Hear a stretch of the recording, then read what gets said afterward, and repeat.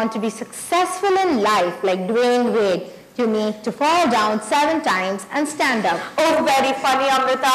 The tagline on the video was just about our theme for this evening.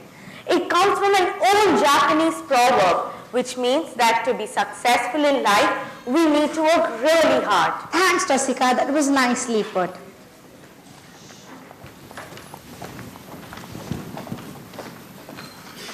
She, in the dark, She, within herself, found loveliness through the soul's own mastery. And now the world receives from her dower the message of the strength of inner power. You are now about to witness the story of Helen Keller.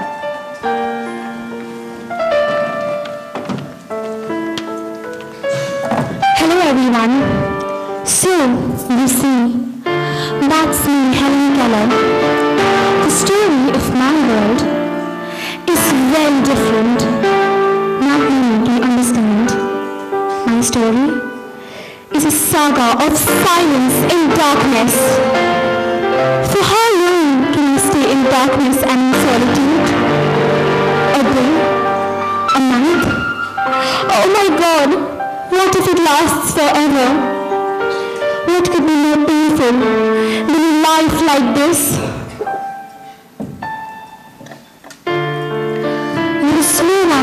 Darkness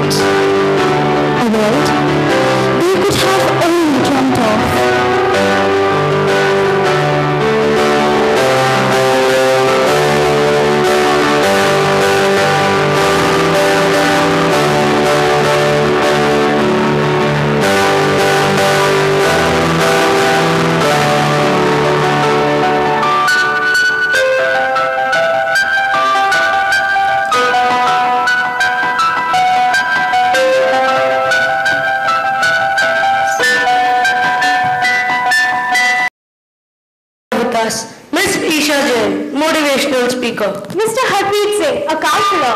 Miss Isha Lawat, the educationist. And Mr. Gurran Singh, a renowned journalist. Today, we are going to ponder upon two very contradictory issues which each and every one of us have to face in our lives. And that is success and failure. We all know that every individual overcomes odds they face in their lives to achieve success. So let us look at some interesting stories where people have overcome odds together and worked unanimously to achieve their goals. So panelists, can we have some examples? Hiroshima and Nagasaki. These two cities have inspired people all over the world. After being shattered by an atom bomb blast in 1945 and leaving about 1,40,000 people instantly, they still have the courage to stand up against it.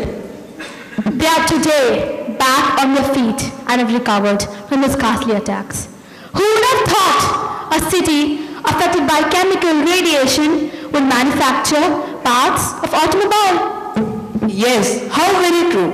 Look at how Mumbai is back to its busy life even after the horrific 2611 terrorist attacks, the floods of 26th of July and many other train bomb blasts. Truly inspiring. But don't you think that all these citizens have had something to empower them? Oh yes, Nishant, definitely. Resilience. It is the resilience that has helped them achieve this level of success today.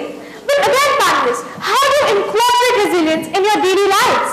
Well, as an educationist, I've seen many students failing and then getting up, failing and then getting up. How much ever they tried, the spark has never been lost. Resilience is the key to success. Being able to recover with ease even after failure is important. Failure is inevitable part of our lives. Hence, we must learn how to deal with it.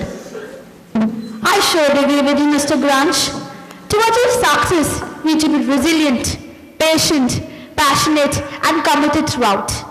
But let me tell you, we learn most from failure. Well, I'd like to give some examples. Stephen Hawking, he did not give up. He is a survivor. Beethoven could not hold a violin, but went on to become one of the greatest musicians in history. Or what about the other inspirational personalities, such as Steve Jobs, Walt Disney, and Michael Jordan? They overcame all odds with their patience and determination. So, are you trying to say that it is more important to fail than to succeed? I would like to answer that, Mr. Nishan. Failure is the first step to success. You need to fail in order to succeed. Failure is what teaches us to be strong during thick and thin. Did the parliament take? No, I don't need it. In the ninth grade and like every other youngster raring to go. But wait, am I? Why is it that as we grow older, we begin to doubt our own abilities? Don't we remember? We did it all the time when we were younger. When I'm down and out, my mother comes to my rescue by recalling these childhood memories. My dear girl, you were. Two little eyes discovering what's new. Two little hands touching everything in view. Two little feet crawling on the floor. Falling now, torturing then, torturing now and falling then. But never once did you stop until you could finally stand. If you could do it then, why now? When you have your whole world laid out before you to explore and take a bow. So friends, all I would like to say is this. Life will knock you down. You'll have many situations in life when you'll have to fall seven and stand up eight. But you will always have to answer that question. Will you get back up? Well, will you?